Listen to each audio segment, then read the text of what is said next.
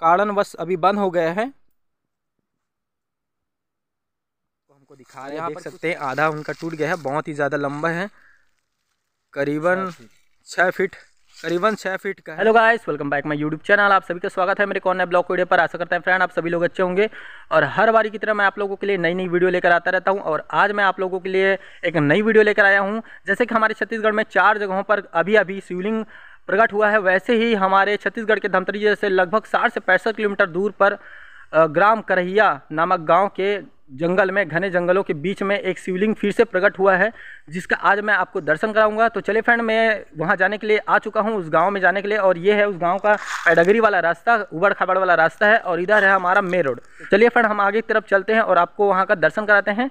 और अगर आप हमारे चैनल पर नए हो तो प्लीज़ यार चैनल सब्सक्राइब कर दीजिएगा, और वीडियो तो भैया तोर नाम ला पहले बताबे आप मन के नाम कहा रे परमेश्वर साहू। परमेश्वर साहू है ना? हाँ। तो भैया ये जो शिवलिंग जो निकले है धरती से है ना?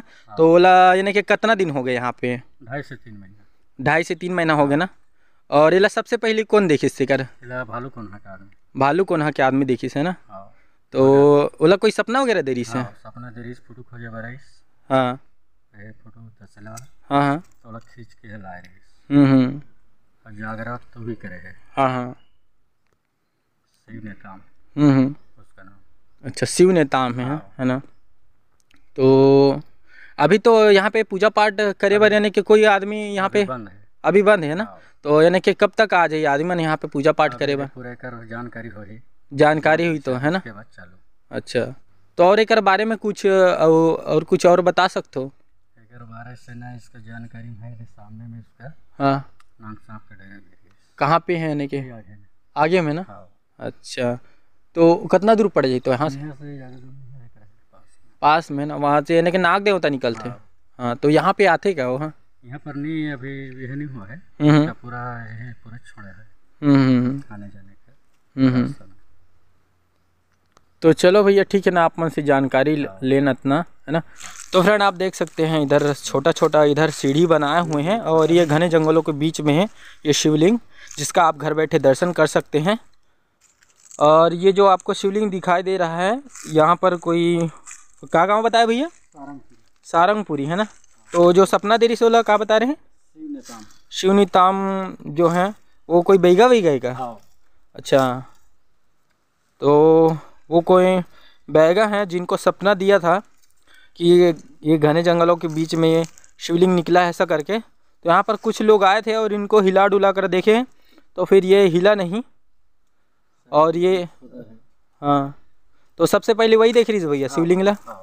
हम्म, तो फ्रेंड आप देख सकते हैं काफ़ी बड़ा कद काठी में काफ़ी बड़ा है शिवलिंग जैसे कि हमने आपको अपनी पिछली वीडियो में दिखाया था उरकुरा और तिवरैया और महासमुंद जिला किशनपुर और मुनगा शेर में बाकी सभी शिवलिंगों का आपको दर्शन कराया था। वैसे ही शिवलिंग यहाँ पर काफ़ी ज़्यादा बड़ा है, जो आपको देखने के लिए मिलेगा। आप देख सकते हैं, आपको मैं नज़दीक से दिखाता हूँ। काफ़ी बड़ा शिवलिंग है।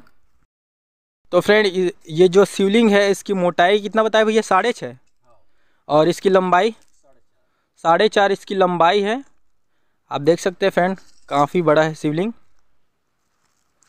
और अभी यहाँ पे लोगों का जो है आवागमन कुछ कारणवश अभी बंद हो गया है। और यहाँ पर कुछ नारियल वगैरह चढ़ाए हुए हैं, देख सकते हैं। और इस तरफ़ दिखाते हैं हम आपको, चारों तरफ़ जंगल ही जंगल है।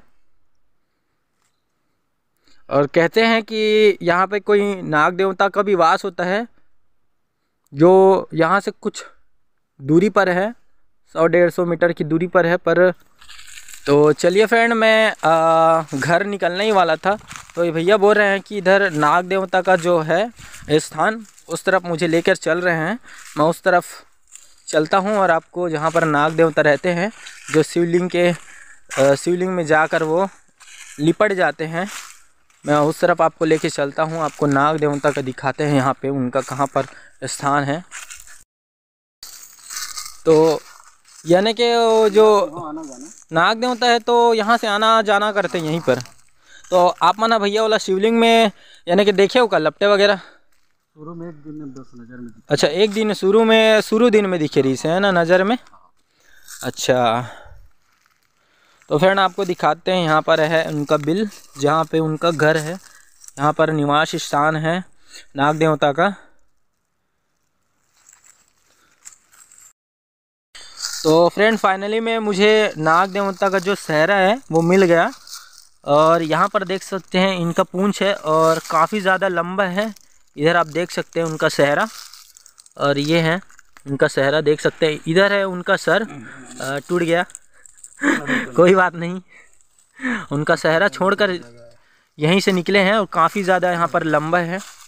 अब भैया हाथ में पकड़ के इनको हमको दिखा रहे हैं। देख सकते हैं, आधा उनका टूट गया है, बहुत ही ज़्यादा लंबा है। करीबन छः फीट। करीबन छः फीट का है नाग देवता की लंबाई। तो फ्रेंड देख सकते हैं साक्षात आपको घर बैठे दर्शन करने के लिए मिल जाएगा। भोलेनाथ कि उनके गले पे रहने वाले नाग देवता।